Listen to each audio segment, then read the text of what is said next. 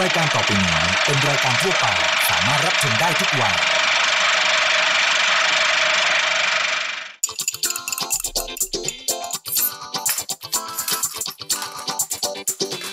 กินได้ กินไม่ได้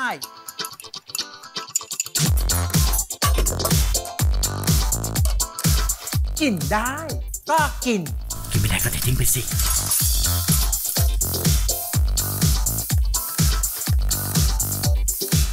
นับสนุนโดยผลิตภัณฑ์ผลไม้ฟรุตเบรดและน้ำเชื่อมแต่งกลิ่นตราเนเจอร์เทส สวัสดีค่ะคุณผู้ชม พบกับนานาในรายการกินได้ก็กินนะคะ ทุกวันจันทร์เวลาบ่ายสามโมงครึ่งทาง Workpoint TV หมายเลข 23 แน่นอนค่ะคุณผู้ชม ทุกสัปดาห์นานาก็จะมีเคล็ดลับงานครัวดีๆ มาฝากคุณผู้ชม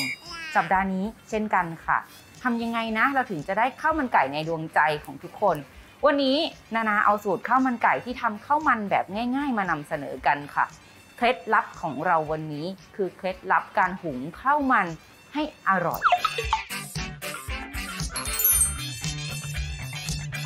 การหุงข้าวมันเนี่ยนะคะ สูตรของบ้านนานาเนี่ยเราใช้ตั้งแต่ข้าวเลยคุณผู้ชม นานาใช้เป็นข้าวหอมมะลิเก่า เพราะจะทำให้เม็ดเนี่ยของข้าวเป็นเม็ดสวย แล้วก็เวลาผัดข้าวมันให้หอมเนี่ยนะคะ นอกเหนือจากน้ำมันแล้วเนี่ยนะน้ำมันพืชที่เราใส่ นานายังมีเจ้ามันไก่ ที่เราดึงออกมาตอนเราทำเนื้อไก่ของเราบางส่วนเอามาผัด ใส่ลงไป เพื่อให้ตอนเวลาเราหุงข้าวเนี่ยข้าวของเราหอมอะเดี๋ยวเราจะผัดมันไก่หรือหนังไก่ให้หอมกับน้ำมันก่อน เราจะเจียวจนกระทั่งเจ้ามันไก่ของเราเนี่ยนะคะ เป็นสีเหลือง เราก็จะได้น้ำมันจากมันไก่ออกมา หลังจากนั้นเราค่อยมาทำข้าวมันกันค่ะ ขั้นตอนนี้เราจะได้น้ำมันจากการเจียวมันไก่หรือหนังไก่ เขาจะมีกลิ่นหอมมากขึ้นทำให้ข้าวมันของเราหอมหอมๆลองเอาเคล็ดลับนี้ไปใช้กันดูนะคะอะเจียวไก่ของเราเนี่ยนะคะเจ้ามันไก่ของเราไปได้ครึ่งทาง หนังเริ่มตึงๆละ เราใส่ขิง อันนี้ขิงของนานาหั่นเป็นแว่นแบบนี้ ใส่กระเทียมกลีบใหญ่ ๆ ลงไป ให้เขาโดนน้ำมันด้วยกันนิดหน่อย พอโดนน้ำมันเสร็จแล้วเนี่ย ทั้งขิงและกระเทียมจะมีกลิ่นหอมยิ่งขึ้นค่ะอะเหลืองแบบนี้แล้วเนี่ยนะคะ ขั้นตอนต่อไปเราจะใส่ข้าวลงไปค่ะอะเราจะผัดข้าวของเราค่ะ ให้น้ำมันซึมเข้าไปในข้าว เราจะเห็นว่าเมล็ดข้าวของเราเนี่ยนะคะ จากสีขาวใสๆเนี่ยตอนนี้ขึ้นมาเป็นขาวขุ่นๆแบบนี้ โอเค ถ้าคุณเอาสูตรนี้ไปทำคุณจะเห็นข้าวของเราเป็นสีขาวขึ้นมาแบบนี้ พร้อมกับกลิ่นที่หอมหอมปิดไฟนะ แล้วเอาข้าวพร้อมเครื่องปรุงทั้งหมดในนี้ใส่ลงไปในหม้อหุงข้าวของคุณ ตักข้าวของเราใส่หม้อหุงข้าวค่ะ มันไก่กระเทียมขิงใส่ลงไปเลย มันจะมีข้าวเหลือติดกระทะตรงนี้นิดหน่อย เอาน้ำซุปของเราเนี่ยนะคะ ใส่ลงไป ตรงนี้คือรสชาติของข้าวมันที่แสนอร่อยด้วย บางคนก็บอกว่าเจ้าสต๊อกหรือเจ้าซุปที่เราเอามาใช้เนี่ยจะใช้เป็นน้ำต้มไก่ก็ได้ หรือถ้าที่บ้านมีน้ำสต๊อกผักหรือน้ำซุปอย่างอื่น ก็เอามาลองประยุกต์ได้เช่นกันค่ะ ส่ลงไปแบบนี้เสร็จแล้วเนี่ยนะคะ เอาช้อนคนให้ส่วนผสมทุกอย่างกระจายตัว จากนั้นอีกหนึ่งเคล็ดลับในการทำข้าวมันให้อร่อย ไม่รักกันจริงไม่บอกเลย เราใส่ใบเตยลงไปหนึ่งใบอกจะบอกคุณว่าใส่ใบเตยลงไปหุงข้าวมันเสร็จแล้วข้าวมันของคุณจะหอมหอมที่สำคัญไม่มีกลิ่นคาวของไก่เลยล่ะค่ะ จากนั้นเอาข้าวหุงในหม้อหุงข้าวได้เลย พอหุงสุกแล้วทิ้งไว้ในหม้อหุงข้าวสักครู่ แล้วก็คดมารับประทานได้เลยค่ะ วันนี้ได้ข้าวมันแสนอร่อยแล้ว ขั้นตอนต่อไปนานาจะมาทำไก่คือเอาไก่มาต้มกัน วันนี้มีเคล็ดลับค่ะ ซื้อไก่เป็นชิ้นมาทำยังไงให้ต้มเสร็จแล้ว หนังเด้งเนื้อฉ่ำมาดูไปด้วยกันช่วงหน้าค่ะอะเปิดข้าวออก เปิดข้าวออก เอาไก่วาง เสิร์ฟคู่กับนี่ค่ะ น้ำจิ้มข้าวมันไก่พริกแล้วก็ขิง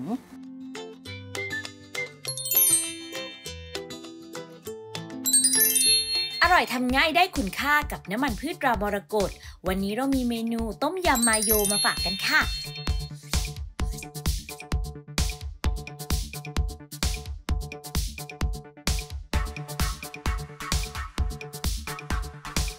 วิธีทำ ใส่น้ำมันมเมล็ดดอกทานตะวันตรามรกตลงในภาชนะ ตามด้วยข่า ตะไคร้ ใบมะกรูด พริกขี้หนูแห้ง ริกชี้ฟ้าแห้งนำขึ้นตั้งไฟพอร้อนแล้วปิดไฟ ตามด้วยใส่พริกป่นพักทิ้งไว้พออุ่น กรองผ่านกระชอนเตรียมไว้ จากนั้นใส่ไข่แดงลงในภาชนะ ตามด้วยน้ำมะนาว น้ำส้มสายชู และเกลือป่นเสริมไอโอดีนตีผสมให้เข้ากัน ค่อยๆ ใส่น้ำมันที่เตรียมไว้ตีต่อจนส่วนผสมข้นขึ้น ใส่พริกป่น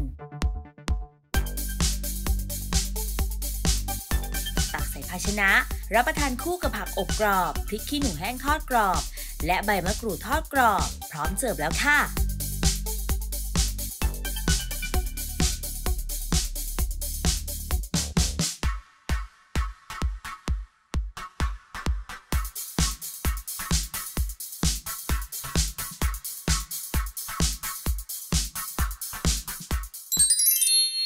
ช่วงอร่อยง่ายได้ใจสนับสนุนโดยโลโบ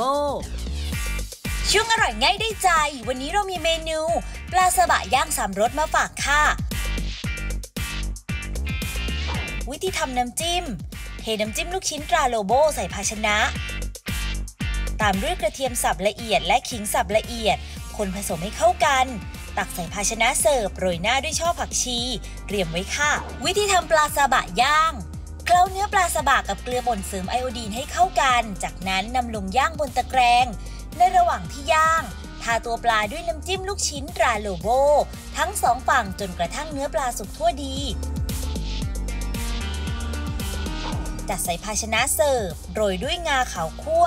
จัดรับประทานกับน้ำจิ้มข้าวสวยและขิงดอง พร้อมเสิร์ฟค่ะ เพียงแค่นี้ก็พร้อมรับประทานแล้วค่ะกับเมนู ปลาซาบะย่างสามรส มีจำหน่ายแล้ววันนี้ที่ Line แอดโลโบ Shopee Lazada JD Central และ www.lobo.co.th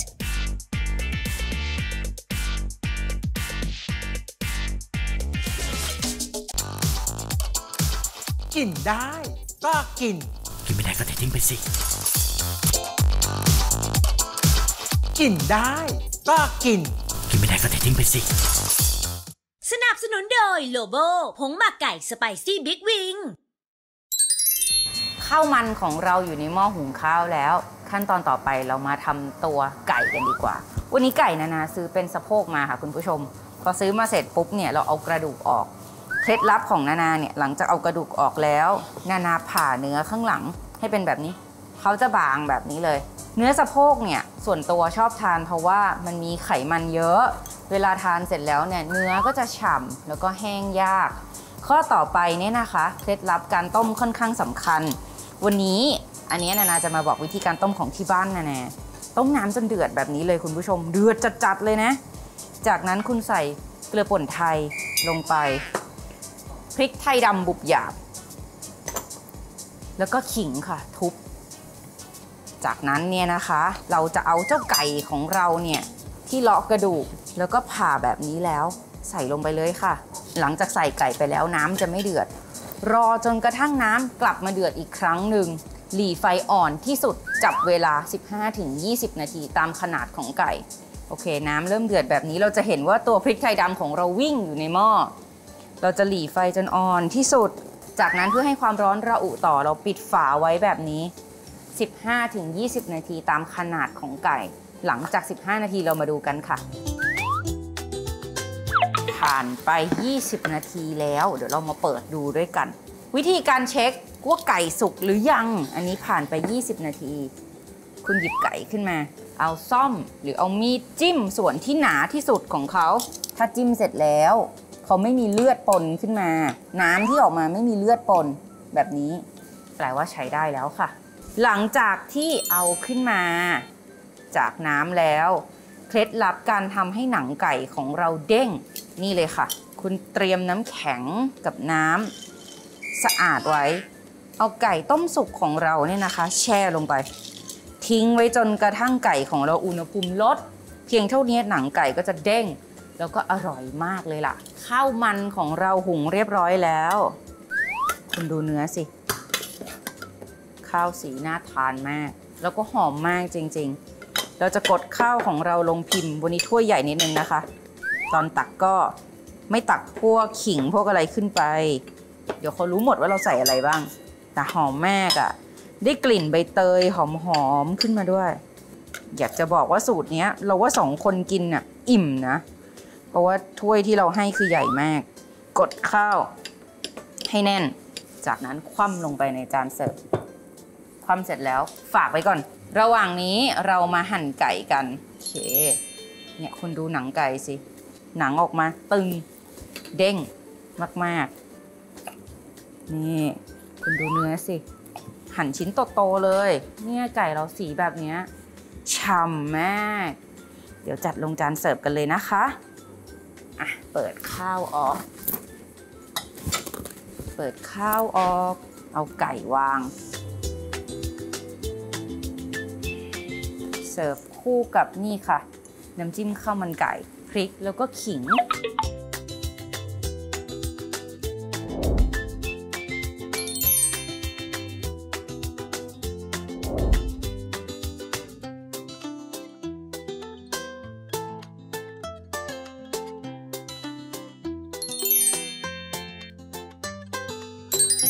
ข้าวมันไก่เรียบร้อยแล้ว อยากจะบอกคุณผู้ชมว่าข้าวมันไก่สูตรเนี้ยข้าวมันอร่อยมาก ๆ อยากให้คุณลองเอาสูตรข้าวมันไปลองทำกัน ที่อร่อยไม่แพ้กันเนี่ยนะคะ คือไก่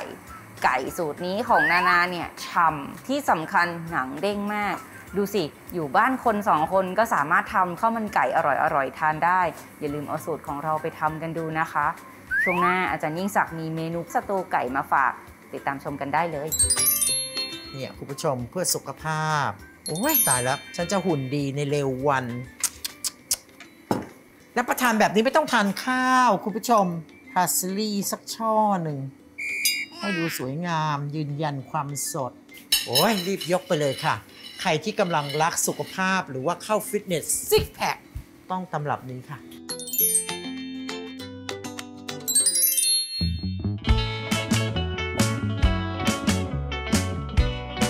วันนี้เรามีเมนูบลูสยามสมูทตี้จากผลิตภัณฑ์ตราสีสัน ยืนหนึ่งเรื่องความอร่อยมาฝากค่ะ เริ่มจากใส่น้ำหวานเข้มข้นกลิ่นบลูสยาม สูตรคีโตตราสีสัน ให้ความหวานได้อย่างลงตัว โดยปราศจากน้ำตาลดีต่อสุขภาพ ลงในโถปั่น ตามด้วยวิปปิ้งครีม น้ำแข็ง ปั่นผสมให้เข้ากัน เตรียมไว้ บีบวิปปิ้งครีมลงในภาชนะ สลับกับส่วนผสมที่ปั่นจนเต็มแก้ว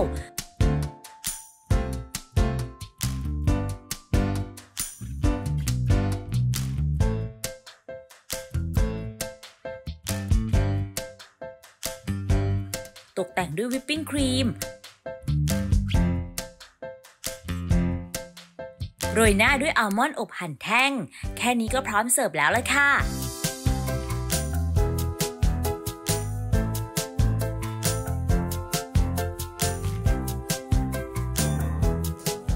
ผู้ชมสามารถติดตามความอร่อยเพิ่มเติมได้ที่แฟนเพจ Facebook สีสันโซน ชุมชนคนรักสุขภาพ ข่าวดี สีสันแจกโค้ดส่วนลด 50 บาท เมื่อช็อปที่ Facebook และ Line แอดสีสัน ตั้งแต่วันนี้ถึง 31 มกราคม 2565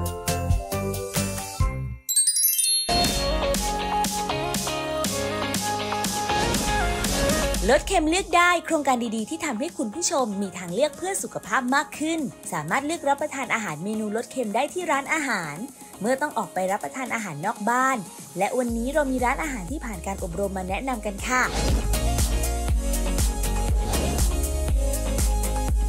นั่นก็คือร้าน Bangkok Bobs ตั้งอยู่ที่ซอยสุขุมวิท 71 สามารถติดตามรายละเอียดเพิ่มเติมได้ที่ Facebook Bangkok Bobs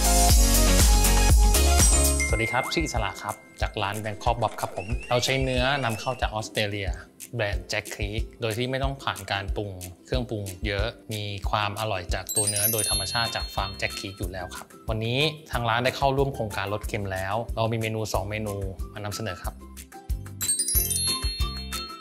เมนูแรก beef cheek stew ครับเราได้ปรับสูตรลดเครื่องปรุงลดลง แต่ยังคงความอร่อยอยู่ครับ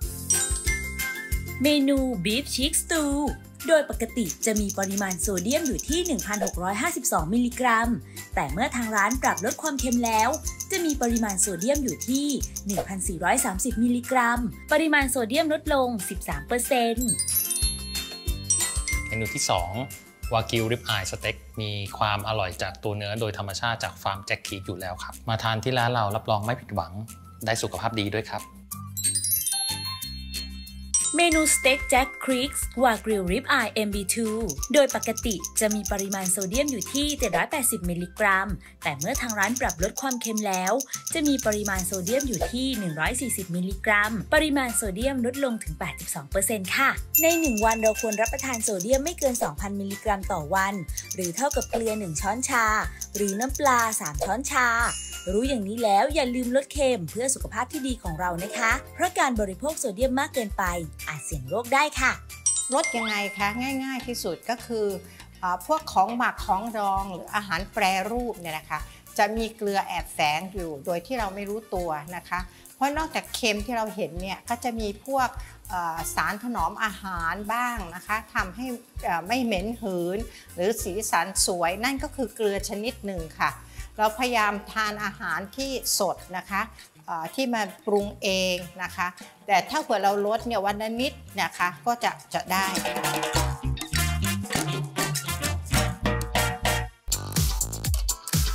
กินได้ก็กิน กินไม่ได้ก็เททิ้งไปสิ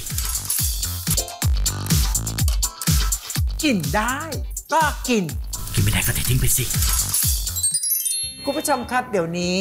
มีทฤษฎีในการรับประทานอาหารเพื่อสุขภาพ เข้ามาอยู่ในยุคในสมัยเยอะเหลือเกิน หนึ่งในนั้นก็บอกว่าไม่รับประทานแป้ง ไม่รับประทานน้ำตาล สไตล์คีโตประมาณนั้น วันนี้เราเอาใจคนกลุ่มพิเศษกลุ่มนี้นะครับ กับเมนูสตูไก่ของเรา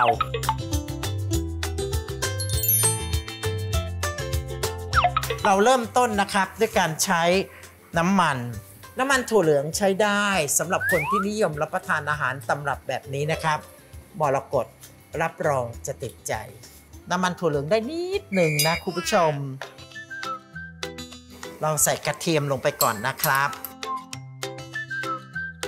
เอาล่ะพอกระเทียมของเราเริ่มจะหอมแล้วนะคุณผู้ชม เราก็จะใส่หอมใหญ่ลงไป ผัดหอมใหญ่จนกระทั่งมีกลิ่นหอม ทิ้งไว้สักครู่นะคุณผู้ชมนะ พอหอมใหญ่ของเราสุกแล้วเราจะใส่เนื้อพริกชี้ฟ้า ใช้เฉพาะเนื้อนะคุณผู้ชม เนื้อพริกชี้ฟ้าเอาเม็ดออก แล้วก็จัดการบดหรือสับซะ เสร็จแล้วเราก็จะใส่อกไก่ล้วนๆเลยคุณผู้ชม ใช้เฉพาะอกล้วนๆนะคุณผู้ชมนะ กลุ่มนี้เขารักสุขภาพเขาไม่รับประทานน้ำตาล เพราะฉะนั้นวันนี้ขออนุญาตใช้เป็นน้ำมะพร้าวอ่อนสดๆนะคุณผู้ชม ใส่ลงไปเลย น้ำมะพร้าวจะมีความหวานที่เป็นธรรมชาติ จะทำให้สตูไก่ตำรับนี้ดูน่ารับประทานยิ่งขึ้น เอาล่ะสีสันก็จะแดง ๆ แล้วนะคุณผู้ชม เนื้อมะเขือเทศ ใส่ลงไป พริกฝรั่ง เห็นไหมเหลือง ๆ แดง ๆ คุณค่าอาหารทั้งนั้น ดอกกระหล่ำต้มสุกคุณผู้ชมใส่ลงไป เพิ่มความเปรี้ยวนิด ๆ ด้วยน้ำส้มสายชูหมัก ใส่นิดเดียวคุณผู้ชม พริกไทยป่น เกลือป่น คุณผู้ชมใส่นิดหน่อย อะโอเค เสร็จแล้วก็จัดการเคี่ยวสักครู่หนึ่งคุณผู้ชม อันนี้เรามีเปรี้ยวนิดๆนะ เรามีเค็ม แล้วก็มีน้ำมะพร้าวอยู่ในนี้อุ้ยสีสันน่ารับประทานนะคุณผู้ชม เคี่ยวก่อนสักครู่หนึ่งใจเย็นๆครับ รอสักครู่นะ เอาล่ะพอส่วนผสมทั้งหมดได้ที่นะคุณผู้ชมนะ ต้องแนะนำคุณผู้ชมอีกนะ อันนี้ใส่เถอะคุณผู้ชม หอมหวาน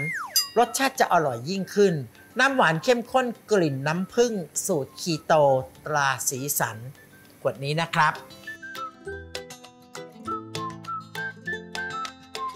ใส่น้ำหวานเข้มข้น สูตรคีโตลงไปแล้ว เราก็จะไม่ผัดนานนะคุณผู้ชม โอ้ยน่ารับประทานมาก เนี่ยไม่ต้องทานข้าวเลย แค่นี้ก็อิ่มจุกแล้วล่ะคุณผู้ชม เรียบร้อยสำหรับอาหารกลุ่มคีโต น้ำมันถั่วเหลืองได้นิดหนึ่งนะคุณผู้ชม อกไก่ล้วนๆไม่มีหนัง ไม่มีมัน เนี่ยคุณผู้ชมเพื่อสุขภาพ โอ้ยตายแล้ว ฉันจะหุ่นดีในเร็ววันรับประทานแบบนี้ไม่ต้องทานข้าว คุณผู้ชมพาสลีสักช่อหนึ่ง ให้ดูสวยงามยืนยันความสด โอ้ยรีบยกไปเลยค่ะ ใครที่กำลังรักสุขภาพหรือว่าเข้าฟิตเนสซิกแพคต้องตำรับนี้ค่ะ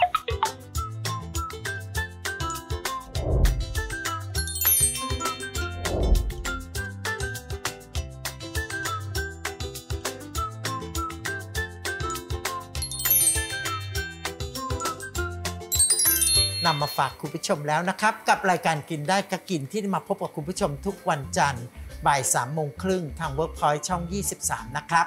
วันนี้ก่อนจากกันก็คงต้องบอกคุณผู้ชมนะ อย่าลืมดูแลรักษาสุขภาพให้เหมือนเดิม แต่คุณผู้ชมก็ต้องไม่ประมาทนะครับ วันนี้ลาคุณผู้ชมไปก่อน รักษาสุขภาพนะครับ สวัสดีครับ วันนี้นานาจะเอาเจ้าบะหมี่กรอบ มาทำเมนูเป็นกุ้งทอดผัดซอสเกาหลีทานคู่กับบะหมี่กรอบของเรากันค่ะ อะคุณจะได้ซอสหน้าตาแบบเนี้ยเหมันของนานา จากนั้นเนี่ยนะคะ เอาเจ้าของทอดของเราลงไปเลย เสียงกรอบกรวบแบบนี้ใส่ลงไป เรียบร้อยค่ะ เมนูกุ้งทอดผัดซอสเกาหลี คุณผู้ชมครับวันนี้อาจารย์ยิ่งศักดิ์มีของแซ่บของอร่อยมาฝากคุณผู้ชมนะครับ กับเมนูยำสาหร่ายญี่ปุ่น และปลาแซลมอน คุณผู้ชมจะจัดแบบเป็นอย่างๆก็ได้ ขาดใจตายกันไปข้างนะคุณผู้ชมนะ